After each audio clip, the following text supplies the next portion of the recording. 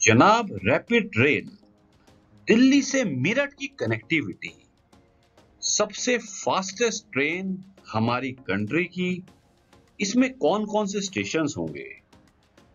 सारा का सारा अपडेशन इस खास वीडियो में आपके लिए मैं लेके आया हूँ।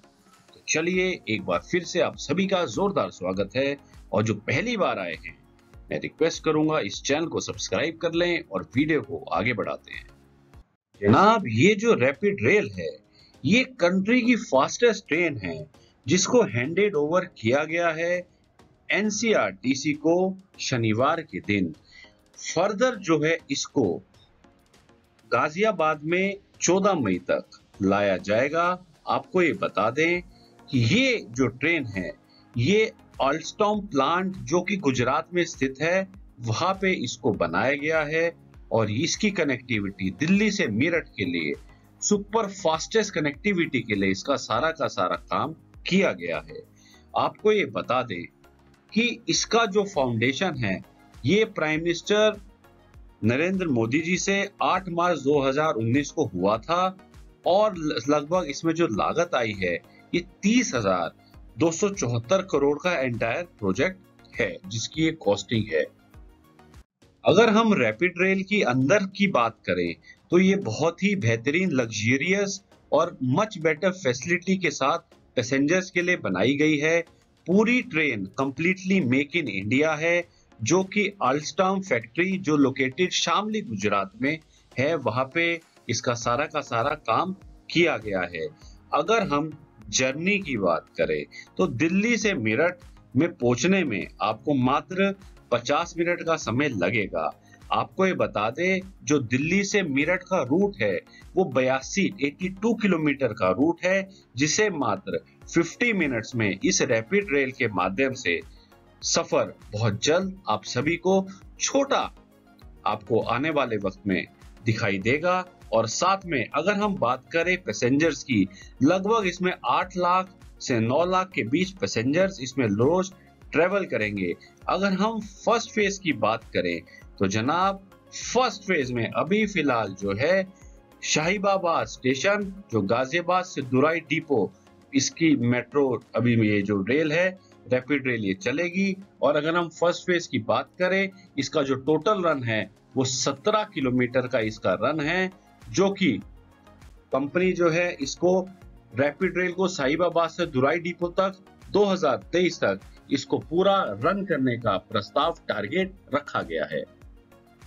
अभी आपको इसके स्टेशन भी बताते हैं, लेकिन इसके और रैपिड रेल के फीचर्स खूबी आप जान लीजिए कि इसके लिए दो बाय दो का ट्रांसवर्स कुशन सीटिंग इसका बनाया गया है। खड़े होने की स्टैंडिंग स्पेस की बात करें तो वाइड स्टैंडिंग स्पेस है। लगेज का रैक दिया गया है। सीसीटीवी कैमराज हैं। लैपटॉप मोबाइल चार्जिंग फैसिलिटी है।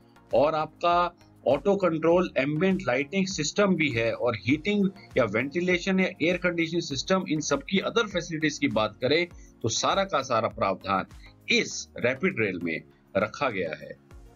और एक बात और ध्यान रखा गया है कि जो भी वुमेन पैसेंजर्स है, उनके लिए एक अलग से एक वन कोच रिज़र्व रखा गया है अलोंग विद स्टैंडर्ड और प्रीमियम क्लास जी हाँ फैसिलिटी हर एक इसमें कोच में दी गई है।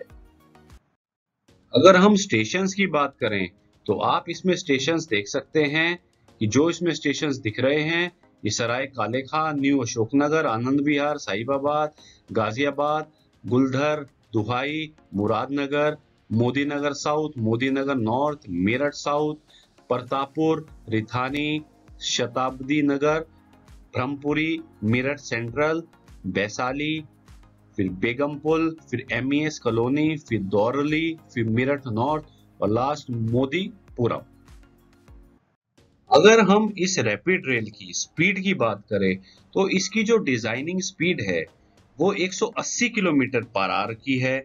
Operation speed 160 kilometre per hour की है और एवरेज स्पीड इसकी लगभग 100 किलोमीटर पर आर की है।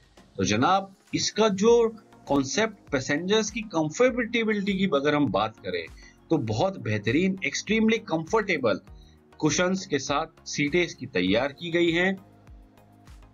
आपको एक बात और बता दें कि ये कंट्री की फ़र्स्ट रैपिड रेल होगी, जो कि शुरू कर दी जाएगी 2025 तक, जो कि बयासी किलोमीटर के रूट को कवर करेगी दिल्ली से मेरठ में। और आपको एक बात और बता दें, अभी के लिए फ़िलहाल at present rapid rail complete करी गई है, जिसमें मात्र छह कोचेज हैं, जो कि डिलीवर कर दी गई है बाय गवर्नमेंट ऑफ़ इंडिया इस शनिवार को। एट प्रेजेंट की अगर हम बात करें 35 अदर रैपिड रेल्स उस पर भी काम किया जा रहा है, जो कि शामली गुजरात के ही प्लांट पे इसका काम चल रहा है, जिसमें 210 कोचेज अलग से 35 रेलवे तो उसके लिए काम उस पर कर रहे हैं।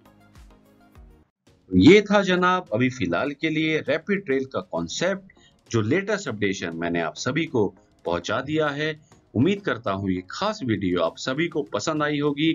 पसंद आए तो लाइक करना ना भूले।